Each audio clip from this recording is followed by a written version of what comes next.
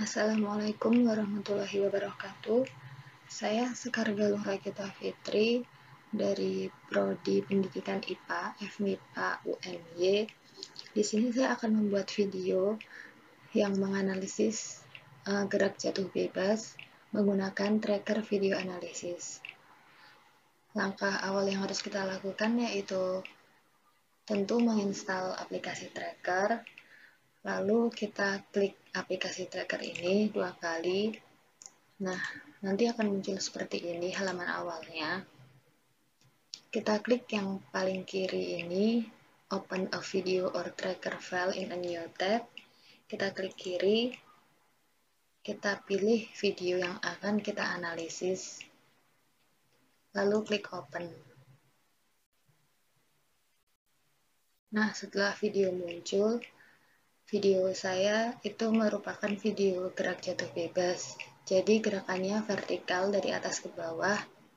Di sini posisinya belum sesuai dengan video dengan keadaan yang kita inginkan ya, maka kita ubah yaitu klik kanan, pilih filters, lalu new, lalu kita pilih yang rotate, kita pilih mana yang sesuai yaitu min 90 derajat di sini tergantung video kita masing-masing ya. Kalau di video saya, uh, posisi yang sesuai menggunakan main 90 derajat. Lalu kita close. Setelah itu kita pilih bagian mana yang akan kita analisis. Pada video saya, saya akan menganalisis pada mulai jatuhnya benda yaitu pada 39 30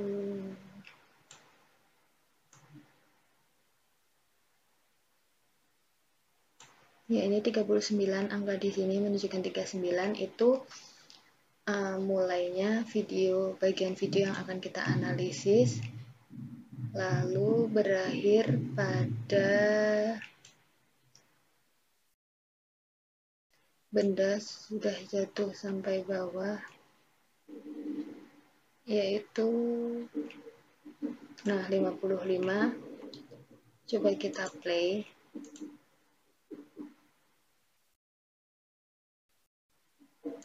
Setelah itu kita klik ini yang seperti icon foto atau video itu kita klik clip setting.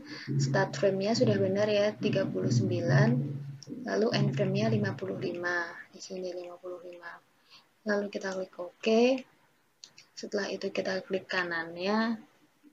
Show or hide or create calibration tools kita klik bagian panah new. Lalu kita pilih yang calibration stick. Setelah itu kita tekan shift pada keyboard kita dan klik kiri pada mouse kita. Di posisi bola kemudian di posisi bawah posisi paling bawah tembok ini di sini masih 411,4 meter.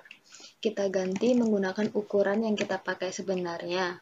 Di sini saya memakai ketinggian 1,5 meter.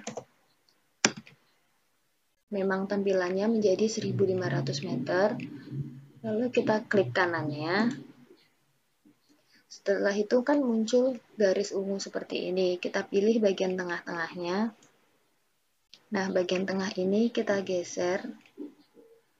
Dan bagian tengahnya kita letakkan pada tengah bola. Setelah itu kita klik lagi ini agar garis ungunya ini hilang. Jadi tidak mengganggu kita dalam menganalisis video ini. Setelah itu kita klik kanannya yaitu create. Kita klik, kita pilih point mesh. Setelah muncul seperti ini, kita tekan pada keyboard, kita tekan Ctrl dan Shift. Kita letakkan di tengah bola, lalu kita klik kiri. Kita lepas Ctrl Shift-nya. Setelah itu kan muncul auto tracker ini kita klik search. Nah, setelah kita klik search, muncul seperti lintasan jatuhnya bola seperti ini.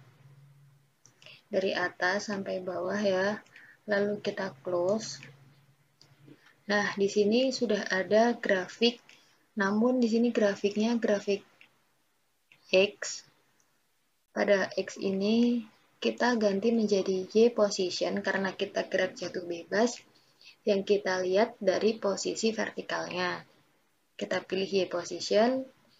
Di sini grafiknya sudah benar yaitu semakin lama waktunya maka Y-nya semakin kecil atau ketinggiannya semakin kecil. Setelah itu kita klik kiri dua kali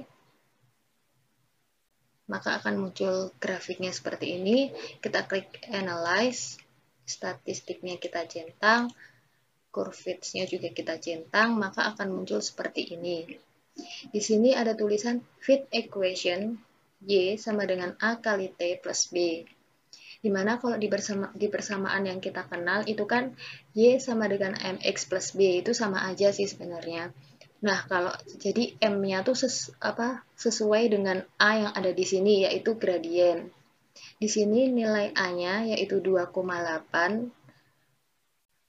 Karena gradien kan rumusnya Y per X, delta Y per delta X. Di sini Y-nya itu terma, uh, merupakan jarak yang ada pada video tadi, jarak dibagi waktu.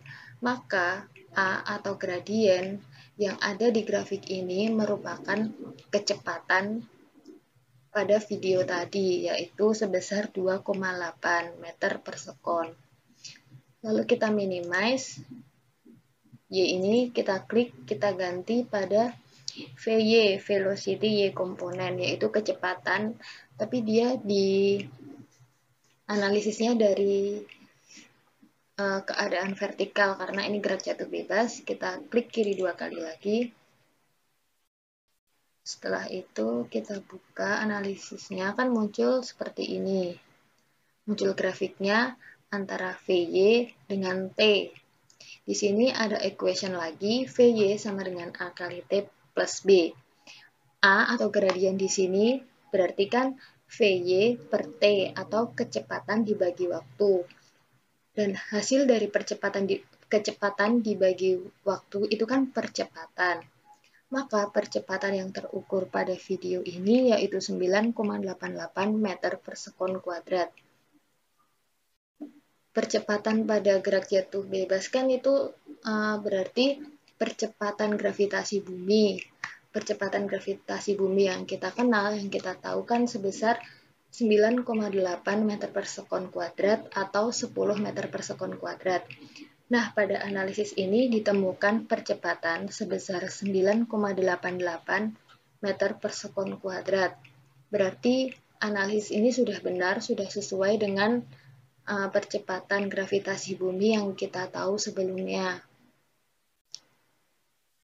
Grafiknya juga sudah bagus, cuma di sini ada sedikit